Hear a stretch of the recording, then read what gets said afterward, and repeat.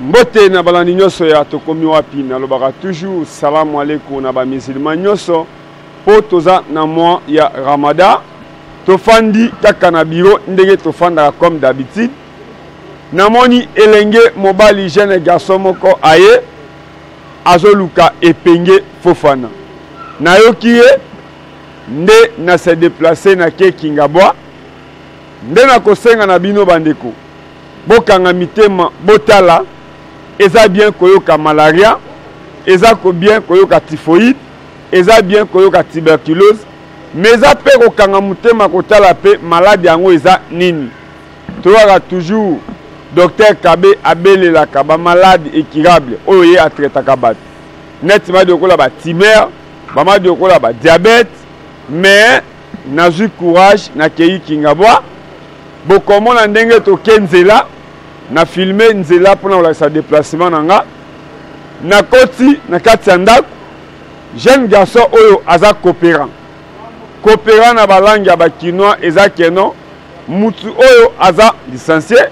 aza gradue me aponi koteka mai aponi koteka bilamba yango babengaka yango toujours ke coopérant Ablala alamuka un bon mante abala mwasi na ye yango baza na ba alliance na bango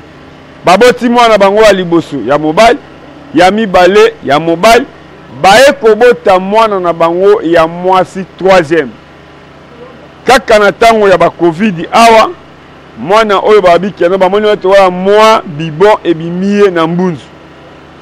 baye na hôpital docteur ayambi bango Nzoka azalaki na ye du domaine ete lelo botala consequence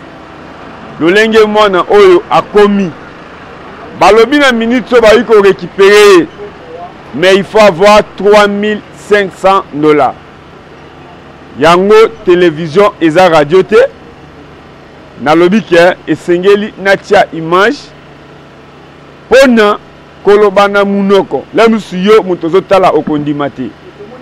papa maman babeti lisolo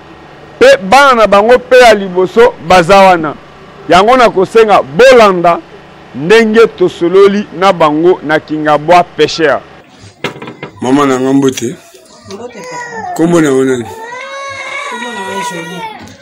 oyo afandi pembeni na yo aza nani mpo namoni bino nyonso boza na baalliance eloko nini ezotungisa yo makasi na ndako eloko ezotungisa ngai ezaka problème ya maladi ya mwana en fait mwana abotamaki na ye normal mhm. abotami normal arriva vers un mois boye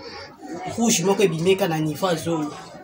après na niveau ya zolo tokoti ne pédiatrie bakanisa ye lokola bainfection basali baexamen nyonso tout ti batraite traite bazomona évolution vraimen eza te de plus en plus baotraite yango ezo kosagrafe kosagrafe donc bayebaki vraiment problème yango bien te nde balobi ah to lokola ezalaki na confinement balobi moye bokende ti na campus kuna ozala te tozela confinement esili nde toya kokende na campus bayebisi biso ezali problème ya tumeur nde eya kokóma na niveau ya boye ndenge evimbi boye ya na problème ya tumeur eza tumeur mais eza tumeur normale ekozala traitable mais mbongo basengeli biso wana esi deja tokotaki ne deja ba hôpital mbongo nyonso esi esilaki biso mbongo bayosenga biso wana toza vraiment yango te yango wana toye devant bino bato boza mitema mawa bokosunga biso na komona ka mwana oyo alelaka ne kaka boye alelaka kaka boye tozala alaise te mais dieu le prête vie aza ne kaka aza ne kaka na bomoi mais maladi oyo ederangeaka ye kaka boye kolela na kolela kaka nde azolela boye sikoyo leo nini okoloba na ba ong na bato baza na bafondation parce que ka oyo ezomerite neti bato ya bafondation bato ya ba ong bafaire koede yo okoloba nini eza na bamama oyo beno baza na babozwi mosala yango eza koede neti baka ya boye na sur ke no na tokomi wapi makambo tosalaka yango ebele yango moi ntango mobali na yo aye je to oblige ya kodeplace naye na ye ti a olobani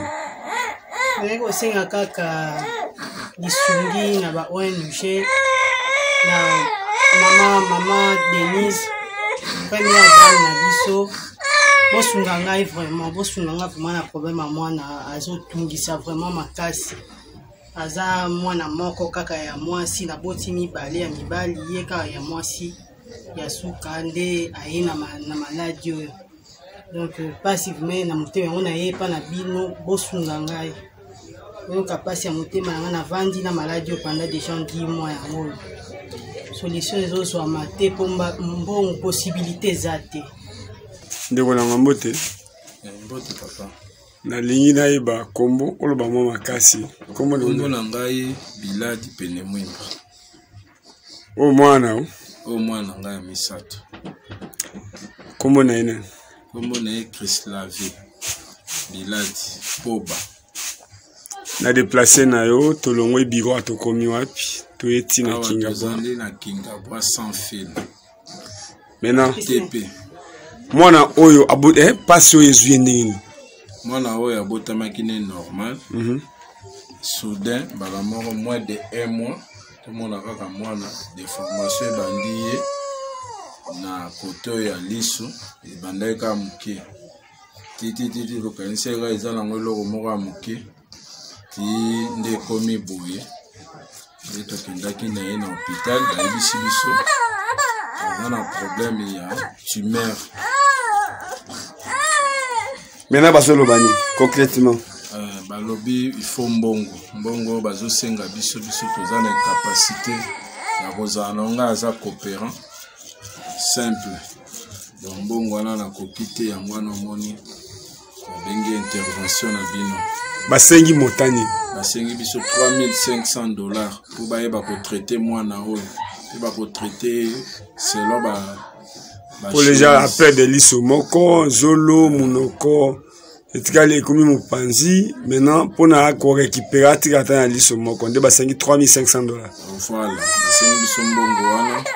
moto oyo asengi biso mbongo wana asure biso moins de 6 mois ekoki deja kosila marge akotikala na problème ya miso mais babiloko mingi ekozonga deja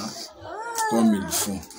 eloko nini okoki koloba na bacongolais oyo baza na mbongo meme na gouvernement congolais meme na ministre ya affaires sociales okoki koloba nini oyo atake para mwana oyo abotamaki normal me na eta maladi oyo ezwi mwana oyo okoki te okoloba nini eloko nasengi na bango kaka oyo azali na motema oyo nzambe atushe ye ayeba vraimen kointervenir nzambe akoyeba kobakisela ye ya mingi parceke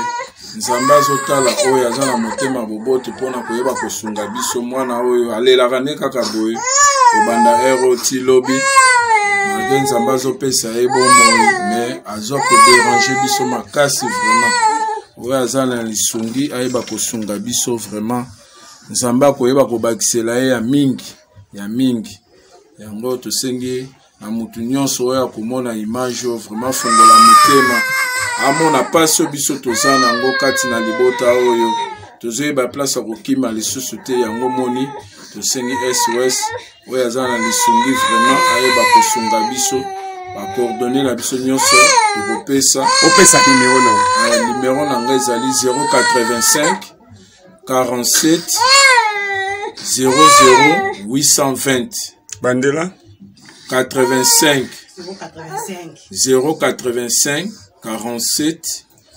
00820 eza orange merci nde place tolobi keno tomoni ti mokili mobimba république démocratique du congo bato nyonso bamoni yango nalobi keno lelo bato oyo bazosenga lisungi parceke bakoki te na ndenge na bango babundi me esengeli ngai natalisa bino mpo ntango ozoyoka maladi ya timere Timer eza nini? Eza bien ko citer kombo, mais eza bien pe kotala mwana oyo a peur de liso, a peur de munoko, a peur de zolo, mais Nzambe azo continuer toujours kopesa ye vie pe bozotala modele mwana oyo azomela ngai moko naluki esika monoko eza namoni yango te me ozomona ke mama na atie libele na monoko mwana azomela mpe ozomona ke mwana oyo azosakana na ndeko na ye azosakana na yaya na ye yango nalobi ke no yo moto oza ministre ya affaire sociale il faut oyeba mosala na yo ngai nalobi mpe nasukisi ke d'ici là nakoyambela bino moko oyo aza musulman afin koexplike biso islam eza nini me oyo aza kolanda ngai mwana oyo aza na besoin ya kozala na vie yo moto oza ministre yo moto oza pdg ntina ya komelaka masanga chaque jour to kosomba ba champagne to kosomba ba voiture mais si lelo mwana oyo azwi vie bakobosanaka yo jamais botala eta mwana oyo aza me na ndimi kolakisa bino mpo boyeba maladi oyo bayebi timer eza nini bino mwa botala eta mwana oyo aza mwana aza na une année me botala olenge mwana azosouffrir mais nzambe azo continue toujours na bolingo na ye kobatela ye ekosala esengo ki ata pasteur congolais moko ayede mwana oyo merci tokomi wapi ndenge boyebela biso ndenge mpe toza Yango nalobi boye, tika kolakaka bato mbongo mpo ozwi nanu mbongo te. Tozela soki ozwi mbongo, totala soki okosalisa bato. Tika kolakaka bato bozwi mpo ozwi nanu te.